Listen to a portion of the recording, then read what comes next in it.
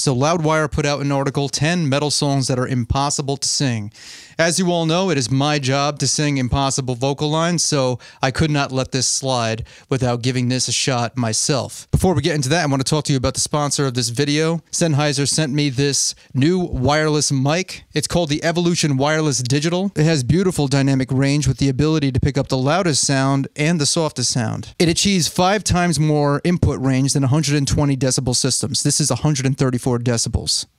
I mean, 134 decibels is so high that it eliminates a sensitivity setting altogether. This is the highest of any wireless mic system ever. Leaving all the technical stuff aside, this is a great mic for live streaming and a video like this where you want to put more energy, more of a performance. See, I'm I'm moving around. So if you're interested in one of these microphones, you can go to the link right in the description below and check it out. Now let's get to 10 metal songs that are impossible to sing, brought to you by Loudwire. Some of these vocal lines that are listed here I have definitely tried in the past and failed, but today I'm just to go for it. We got Slayer, Angel of Death. The famous part of this song is the scream in the beginning.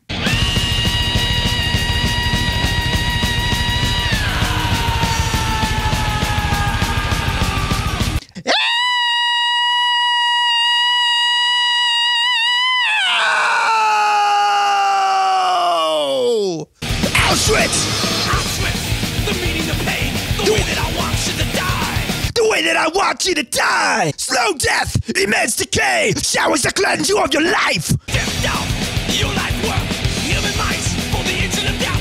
400,000 more to die. Forced in! Like how do you run? Stripped of your life's worth! Human mice for the angel of death! For hundred thousand more you die! The angel of death!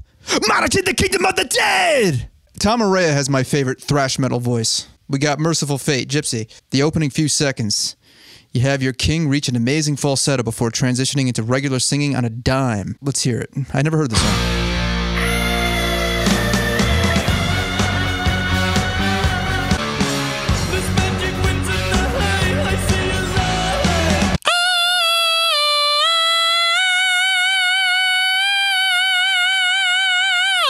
This magic the hay, I see you lie. Again, I hear that tune. Some sort of crown.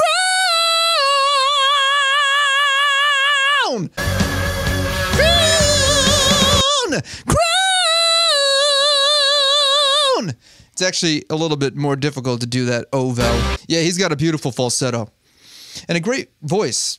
Highly influential. Mercyful Fate, King Diamond, you damn right. Type O Negative, Christian Woman, one of my favorite bands of all time. Sure, the notes might be all correct, but getting that distinctive growl is something that you're either born with or you're not, which is absolutely true. I don't know for sure, but I think Pete was a bass. I am a high baritone, and I don't even know for sure because I've had few a few people tell me different things. Some of you know me for the Type O Negative themed videos I've done in the past. The lowest note in that video isn't anywhere near Pete's lowest note. That's probably at about the bottom of my register. Anything else goes into fry. But let's hear the verse. Oh, Billie Eilish. she looks like Billie Eilish. An image burning in her mind and between her thighs. Ugh. That's pure fry. See, Pete had both the fry and the natural voice. A good example of that is in the middle of this song when he says body of Christ. Oh, Corpus, he says Corpus Christi. Corpus Christi.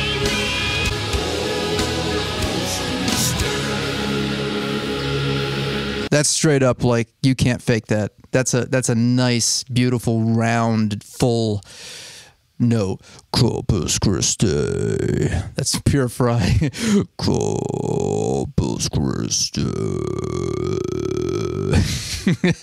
and if you double that, Corpus Christi. She needs, she needs Corpus Christi. Corpus Christi. That's the difference between Corpse Husband and Peter Steele. oh boy. All right, moving on. So we have Alice in Chains, Man in the Box. I've covered this once before. when I showed you a before and after from years ago when I used to butcher this song constantly before I got vocal lessons.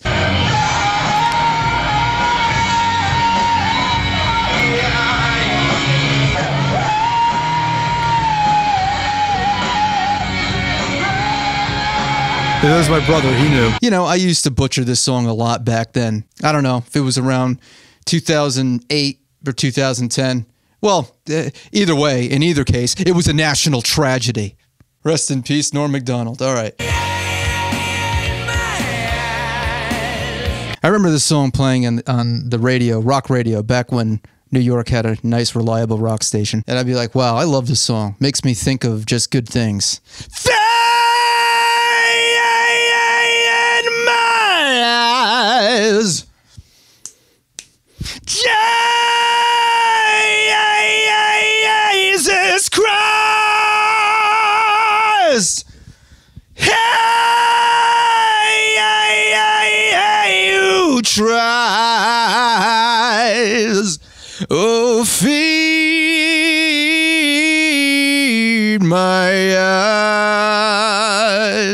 Iron Maiden Number of the Beast. Okay, so there's a good chance that even Bruce doesn't dare touch this uh, song's opening scream like the recording, though, being able to both scare you and take your breath away. How forceful it is. You're right.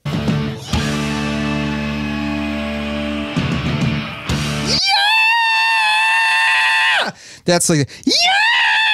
Oh no. I want to hear the isolated vocal. That's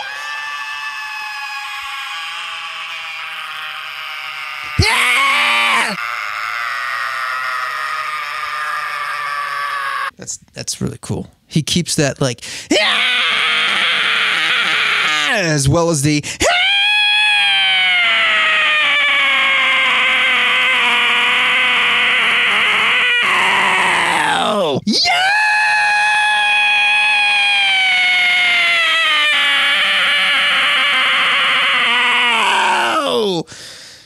something like that just not as not as long because obviously Bruce Dickinson, you know, because obviously I can't compete with God. What's no use holding back? There's no use holding back. his regular singing style is I feel more difficult than that kind of scream because like you have to constantly you have to have so much support.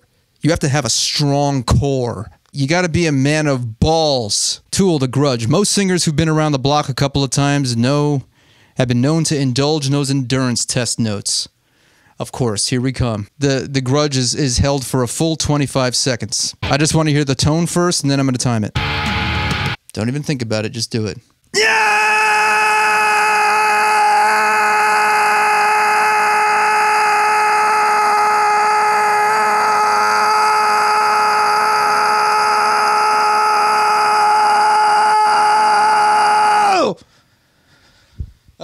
That's all I can do right now. 15 seconds, fine.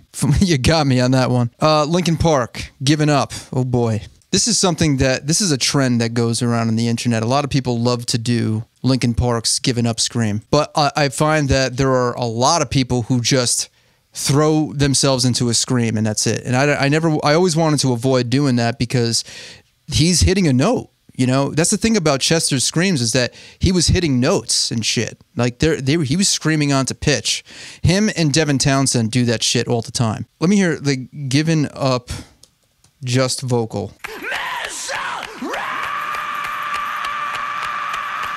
I got the instrumental here right now. Just just so I can time it correctly.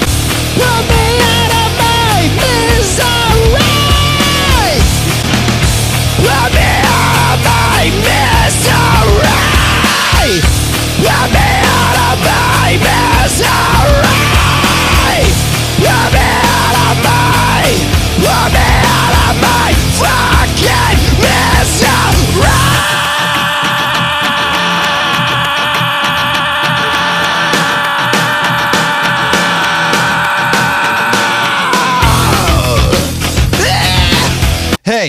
that's a lot closer than I ever got in the past. I, I failed the shit out of those the, this screen before. Shit. But that's it. Like, Put me out of my fucking misery!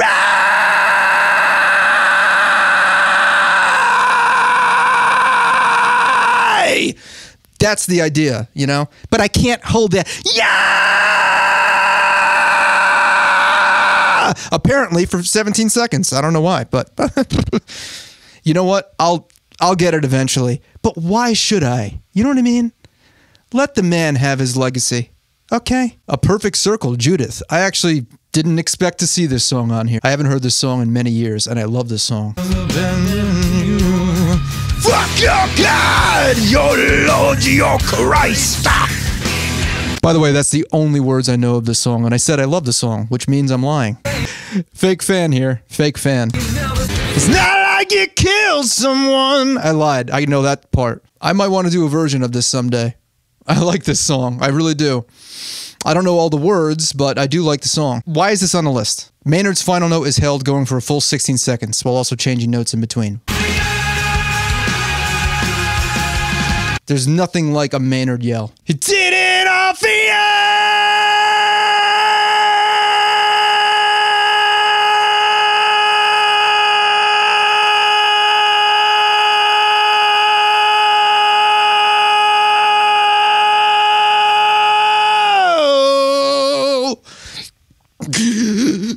I would assume that when you're doing like a long scream like that, you you get in some kind of like zen place. You're just removed from you actually doing it. Pantera's Pantera.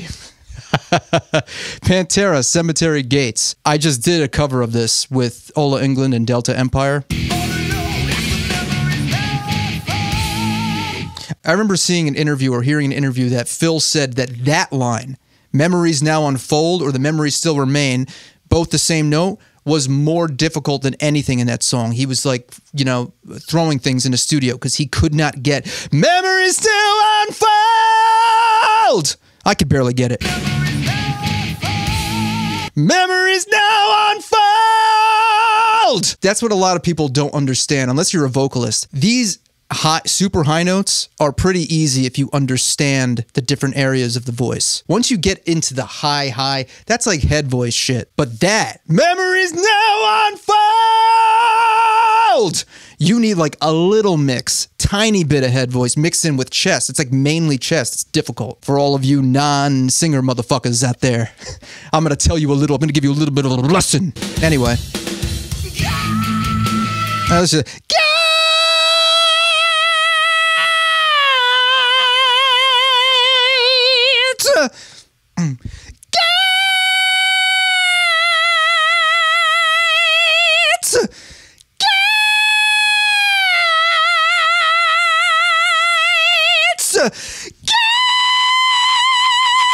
Judas Priest. The painkiller. It is the painkiller.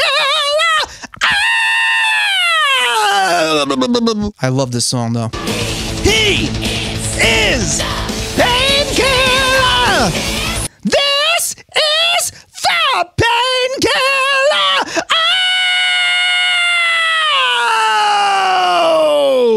Bam, bam, bam.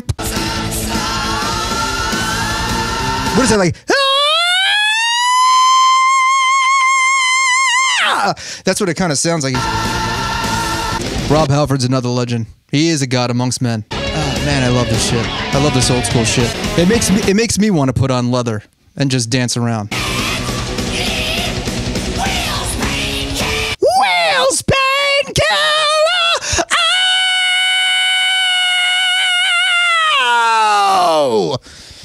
He's got a really good chest resonance in his head voice though. And he really can can like Deadly Wheels painkiller.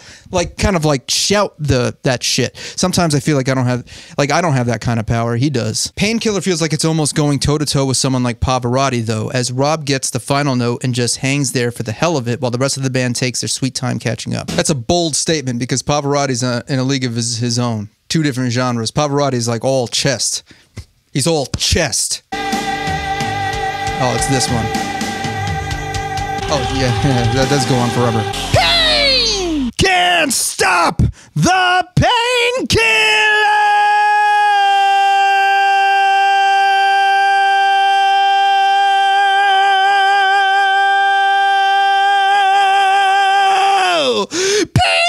No, I can't, you motherfucker. Well, thank you for watching me attempt Loudwire's 10 impossible metal vocals. Do you think they are the top 10, or do you think there are other vocal lines that are worthy to be on this list instead of others? Put them in the comments. Let me know. What do you think are the most impossible vocal lines for a metal vocalist to sing or scream? Be sure to press like, subscribe, go follow me on other socials like Instagram, and that's it. Take care. Have a good one.